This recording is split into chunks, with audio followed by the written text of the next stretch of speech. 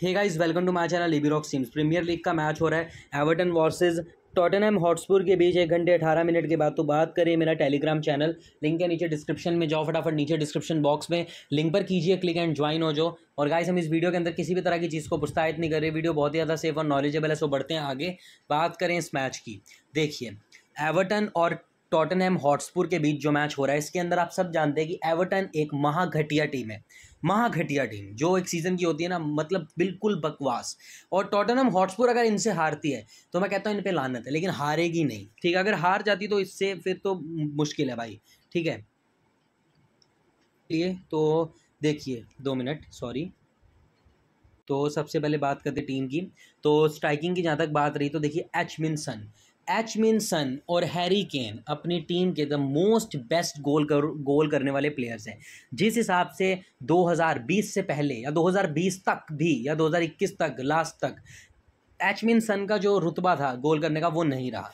जिस हिसाब से हैरी केन इससे कम गोल करता था, लोग एचसन को कैप्टन रखते थे, वो नई चीज़ है। अब हैरी केन बहुत आगे निकल चुका है। एक बढ़िया इंग्लैंड का प्लेयर होने के नाते इसने ये जिताया कि हाँ भाई, मैं जिस टीम में होऊँगा, गोल करूँगा। तो ये चीज़ मेरे को अच्छी लगी। और एचमिन सन में ये बात अभी तक तो नहीं दिख रही। आगे से बात करें सामने वाली टीम की तो देखिए डी मैकनील हो गया। स्ट्राइकिंग में डाल रखा विदाउट एनी सेंस जबकि उसने आज तक स्ट्राइकिंग नहीं की, उन्होंने स्ट्राइकर बना दिया। डी ग्रे डी ग्रे ठीक है, जब स्ट्राइकिंग करता है average D Calvert Lewin striking करता है, जब कैप्टन रखता हूँ, बकवासबाजी कर जाएगा मैच के अंदर. और मौके की बात करें, ये भी डिसेंट है. अब देखो चार चार स्ट्राइकर डालने की ज़रूरत पड़ेगी इनको. क्यों? क्योंकि इनका चल ही नहीं रहा. तो देखिए, मैं आपको प्रेफर करूँगा डी मैकनील जैसे कि अगर आपको पॉइंट चाहिए, अगर आपको लगता है कि हाँ भाई बिना गोल के भी अगर जीतना है तो भी आपको मैकनील काम आएगा. लेकिन अगर आपको लगता है कि एवर्टन एक आधा गोल कर सकती है then go with green though go with grey grey sorry ठीक है? आगे से अगर बात करें इवॉबी की इंटरनेशनल लेवल तक ज़बरदस्त प्रदर्शन दिखाया इस खिलाड़ी ने। तो क्या एक्सपेक्ट करते हो क्या? डोमेस्टिक लीग में चलेगा नहीं? तो अगर आप ऐसा एक्सपेक्ट करो दैन यू आर रॉन्ग और डोमेस्टिक लीग के अंदर बहुत अच्छा करने वाला है, जिस हिसाब से ये खेल रहा है, जिसे पीछे दिनों इसने असिस्ट की थी, एक आधा गोल तक कर देता था फ्रंट साइड जाकर करता था। और एवर्टन का बहुत अच्छा प्लेयर है ये। आगे से बात करें हॉबर की तो देखिए पी हॉबर को यहाँ पर लेना हो जाता है ज़रूरी, क्योंकि बेंटकोर नहीं खेल रहा। Bentancur was injured till now अभी तक। और कुलूसवेस्की, इसको लेना हो जाता है ज़रूरी, क्योंकि रिचलिसन एंड्रेड नहीं खेल रहा।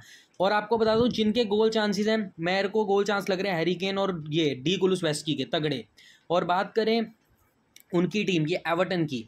एवर्टन का एक आपने प्लेयर उठाना है, देखिए, एवर्टन का जो भी आप प्लेयर पिक करेंगे, या तो आप ले सकते हैं ओ, एक प्लेयर है इनका, एमडू ओनाना को, एक आप ले सकते हैं इद्रिसा गुए।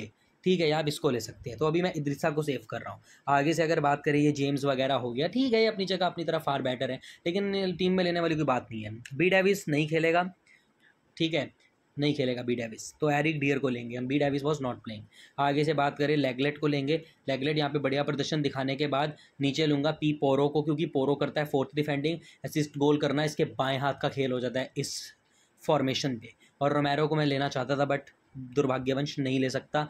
एमरसन रॉयल नहीं खेलेगा। आपको पहले बता दिया है। कहीं आपको दिक्कत ना हो। आगे से बात करें गोल कीपिंग की जेड जॉर्डन पिकफोर्ड जॉर्डन पिकफोर्ड के साथ यहाँ पर मैं जा रहा हूँ। लेट्स सी क्या करता है, क्योंकि पिकफोर्ड से एक्सपेक्टेशंस है। सबसे पहले बात करें कैप्टन की। देखिए कैप्टन है मेरा। हैरी केन वाइस कैप्टन लोग रख रहे हैं इसे। हॉबर को। सिलेक्शन जो बता रही है, लेकिन देखिए एच मिन सन का ही होगा। मतलब ऑलमोस्ट सिलेक्शन जो है, वो गलत बता रहे हैं लोग, क्योंकि मेरे हिसाब से तो कोई भी नहीं रखेगा उसको। तो मैं तो इसके साथ जाऊँगा तो ये मेरी टीम में मिलता हूँ नेक्स्ट वीडियो में बाय